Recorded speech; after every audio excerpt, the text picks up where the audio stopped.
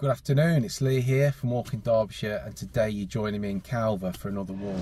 Um, so the walk we've got planned out today, we're going to start from here next to the Calver cricket pitch and we're going to head up the A623 until we meet Coombsdale and then we're going to head up Coombsdale, going to go up about a third of the way and then turn right and climb out over the high fields and then drop down into Darlton Quarry we're going to cut through the centre of Darlton Quarry because it actually splits into two. Head back down to the A623, head up to Eyam. Uh, I'm going to have a look around there and then head out east past the boundary stone, drop back down to Stoney and then head back to Calver. So we're off. Saying the, the cricket pitch at Calver, I think it's the oldest in the Peak District. It goes way back. Now I think I'm going to drop into the Spar just on the corner here because I haven't got anything to eat on me today. It's a really busy road this one, the A623. Goes all the way up to the A6 just above Buxton. Passes through Stoney, past Wardlow Mires, Tideswell and get to the beginning of Crest, Cressbrook from here as well from this road. But yeah, it's very, very busy. Lots of lorries and because there's a lot of quarries around here originally there's a lot of mining uh, around Calver, as many places in the Peak District. Just see Froggatt Edge in the distance there. Right, so just just about to cross. Let's go across here. So this is an alternative car park if you wanted to do this walk. It's actually a bit closer to Coombsdale, next to the playing fields. I always prefer parking up there on Sow Lane. You've got the cafe and the Derwentwater Arms as well, which is a, a nice pub to finish on. Uh, have half a pint to celebrate your walk. So this is it. We're heading into Coombsdale now. Looks like this has been redone since I was last here. It's been relaid, fresh, fresh tarmac or something. Um, looking nice and smooth. But yeah, look at look how gorgeous it is.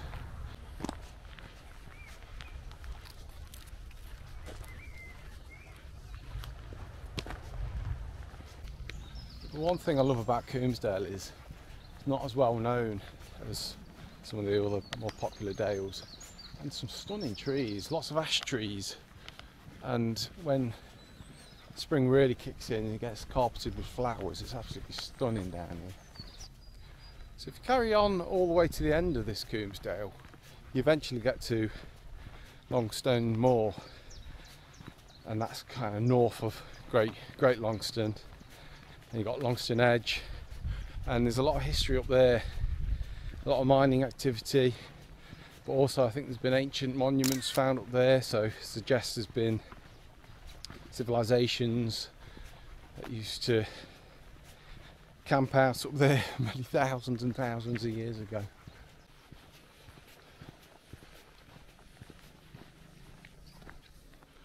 There's a path cutting back down to Stoney we're continuing on.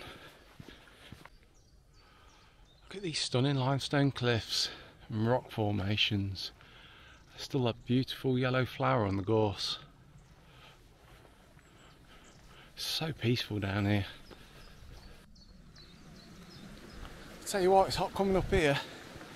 It's about 10 degrees, but when that sun's on you, it is warm because it's a gentle incline.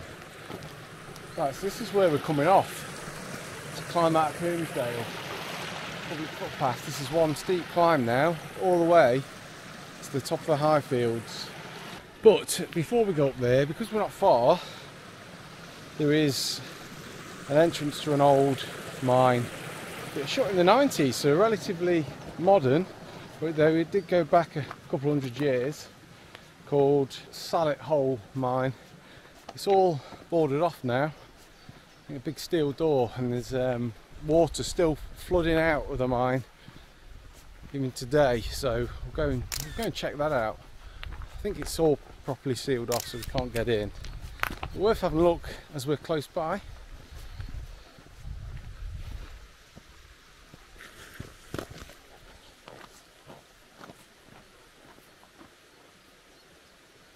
An interesting fact for you, at the top of this Coombsdale there's a lane called Black Harry Lane and that was where used to be a highwayman and he used to rob people who were on the turnpike route from Bakewell north. And yeah he was quite feared 18th century. Uh, he was eventually caught by the Castleton constabulary and then hung drawn and quartered think on uh, near Wardlow Mires in, in a gibbet. Bloody hell what we used to do back in the day eh?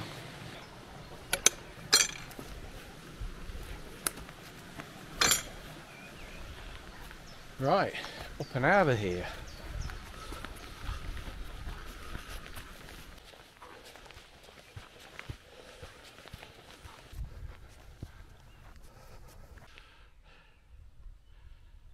Doesn't take too long before these stunning views are revealed. And we saw these at the start of the walk, but yeah, got Baslow Edge and then Curbar Gap, Curbar, Froggatt, behind that you've got White Edge. Camera probably won't pick this up, but right over there you've got that lonesome house. Is that National Trust? I know you can rent that out, I think. You follow it around, get to Longshaw, Higgertor, Stanage Edge. But yeah, we won't see those today because we're heading over that way. Still got a bit of a climb to go. Let's crack on.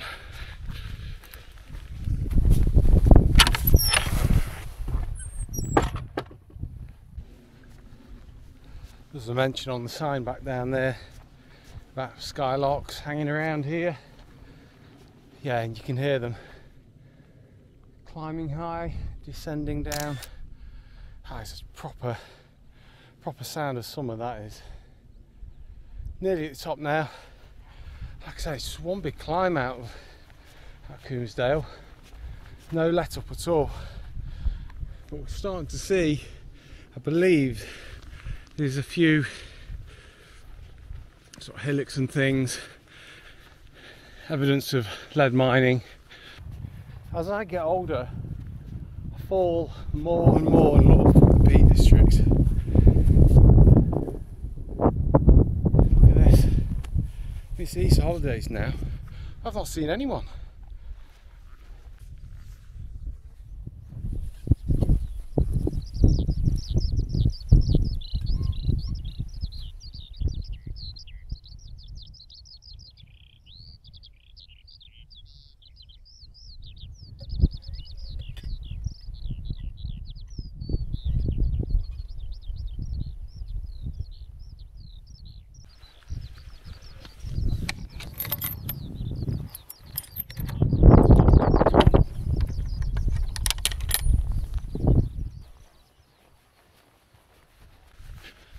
Just entering the Aurori Stones. I'm not quite sure how you pronounce it, but it's fascinating. Just rocky outcrop in the middle of this field. Don't know a lot of about them. If you're watching this and you have got any information about these stones, be fascinated to know. So please leave a comment below. I'm just approaching some of the quarries now. So over this side behind me you've got, this is Goddard's quarry. Behind that you've got the cliffs at Stony, which is great for climbing. Some great caving in there, some old mine entrances. All of this area is full of lead mines. Here you've got Darlton Quarry. It's actually split into two. And this was where last year they launched a, a huge locomotive off Decide for film Mission Impossible, Tom Cruise. So from here we're going to hit this lane, walk along a bit, down here, and then there's a cut in that cuts through the quarry, Darlton Quarry. There's Darlton 1 and Darlton 2 as I mentioned. I'm going to drop down to the A623 and then continue up to the beautiful village of Eyam, the plague village from 1665 to 1666 so much history in Eyam. And then we're going to head along the ridge here, heading out east. And then along this bit is the, the boundary stone, and that's where, well, we'll talk about that in a bit. Um, also up here on this hillside is Riley Riley's graves, and they were uh, victim to the plague. We're not going to see those today because we're not heading up that way.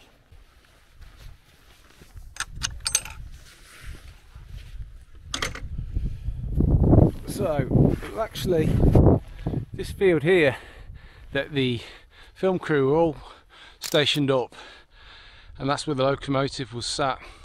And there was a lot of hype around this back in the day. It was uh, it was good fun, something to something to keep an eye on. Uh, just on the horizon there is a nice pub, Barrel Inn in in Bretton. If ever up that way. In fact, we've got another got a walk on the website, in More and More, and that goes up over in More around the back, loops back up to, to Bretton. If you fancy checking that out. Right, information board, let's go and have a look. Here we go, here's that Black Harry's Lane that I was talking about, it's this here. So you continue over, that gets you the edge, edge of Coombsdale. So, what else we got? Yeah, mentioned the boundary stone, there's Riley Graves. Cavendish Mill, that's, I don't know, about half a mile up here. Now don't get excited because you probably think, oh, nice old mill. No, not at all. It's basically a, a, dirty factory. In fact, last time I was up there, it looked like there was a load of pollution pouring out into the road, which, yeah, I wasn't best pleased about. But um, yeah, sounds great, doesn't it? A mill, Cavendish Mill, but um, no, I mean it goes back. Don't get me wrong still still in operation today. Crushing fluorspar together. But no it's um, that makes it look pretty trust me. Just seen two ravens flying overhead heading into the quarry. So they may have a nest down here who knows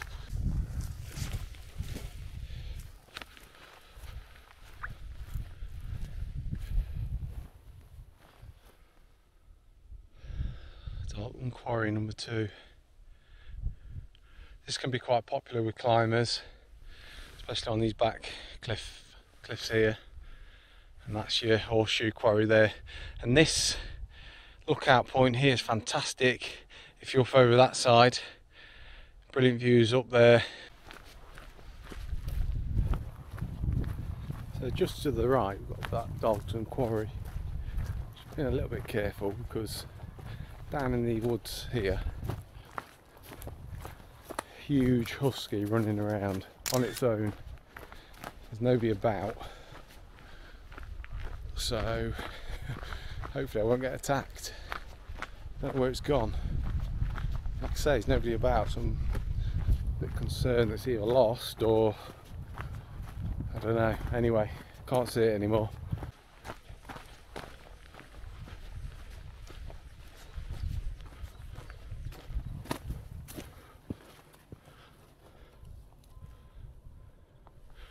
Back here was the structure the locomotive went off. Mission Impossible. Amazing. Right, I ain't sticking around to get bitten. Let's head on down to the A623.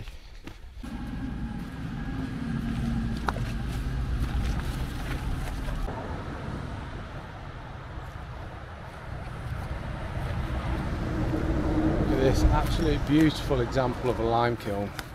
So this one is Georgian, Victorian, goes back hundreds of years.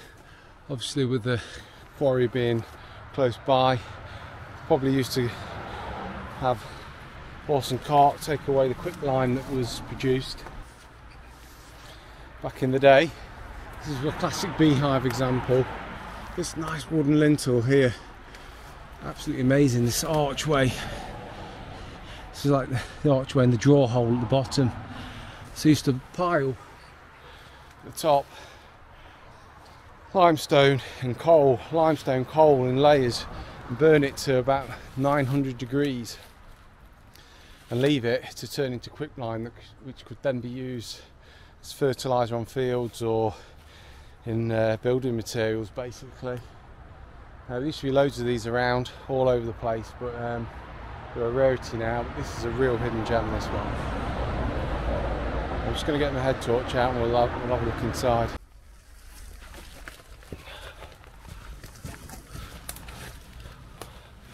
Oh wow, look at this.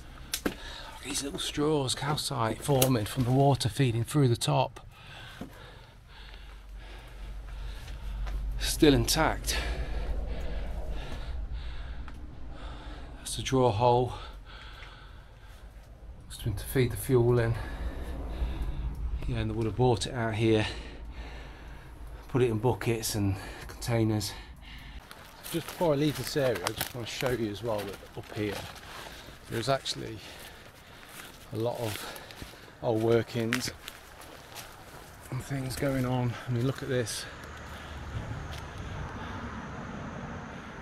All up the bank here. Some shoots, old timber works. Maybe this is an extension of the lime kiln there.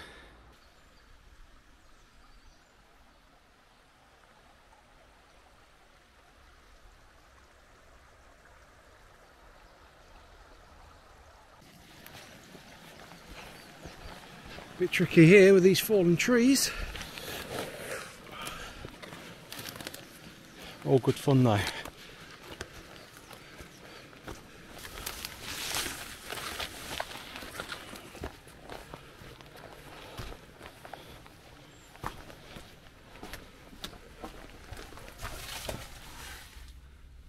So the impressive limestone rock to my left, I believe that's Cucklet Church. Just up here, some impressive natural cave systems in here, which we'll head up to now. I'm going to have a look at.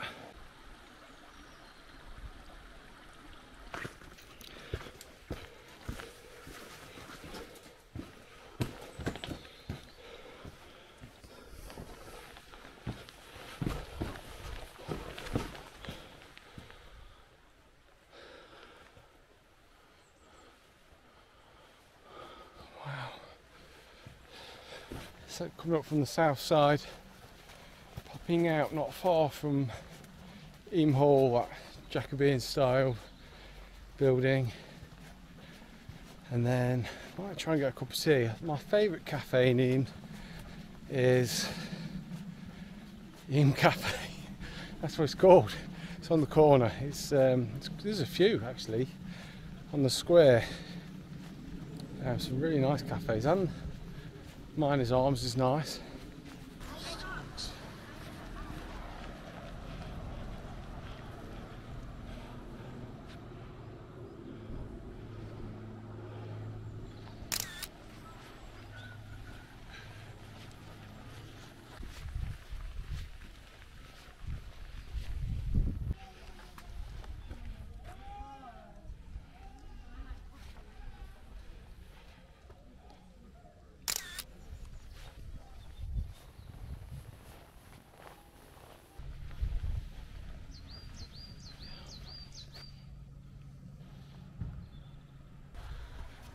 That 8th century crossing, that churchyard. Wow. Anglo-Saxon. Lydgate graves. George Darby, who died on the 4th of July 1666. Daughter Mary, 20.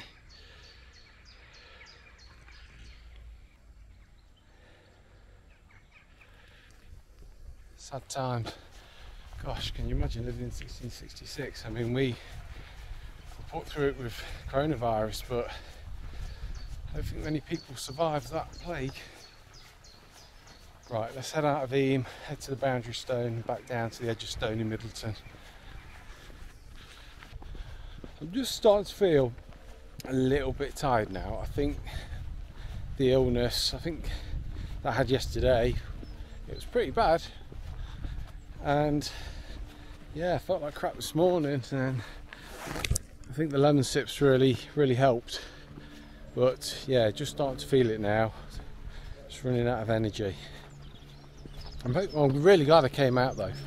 I mean, look at this, look at this. You can't complain at all. And when you got the time off work, you don't want to be stuck in, do you?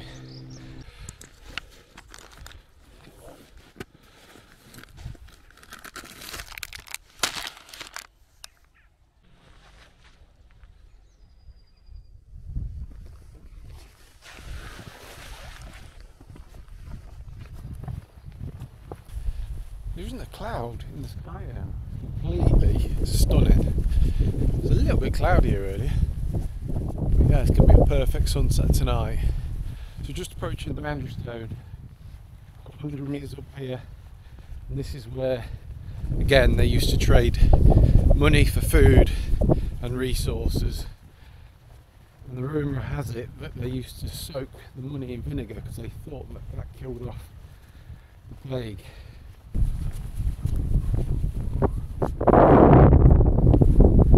So these supposedly were the holes where they'd stack the money.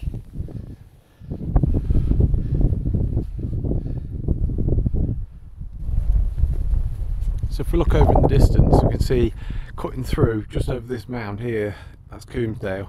So we climbed up over around these trees, over the tops there, dropped down past the quarries. So I think we're about a mile from the end of the walk. I'll probably do one last clip before I wrap up, but um, I'm just going to have a a low alcohol pint at the Moon Inn before heading back along the side of the road. Well, there's a nice little path actually that runs along the side.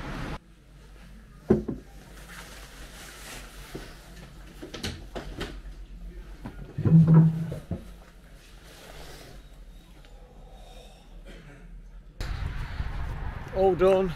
Well, nearly done. Just got probably under a mile between Stony Middleton and Calver. Basically, just hug the road on this track. Oh, it's been a lovely walk. I, I hope you enjoyed it if you've stayed to the end.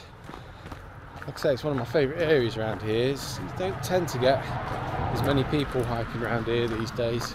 It's all Mam Tor and Dovedale. But yeah, this walk is on the website. I'll put a link to it in the description.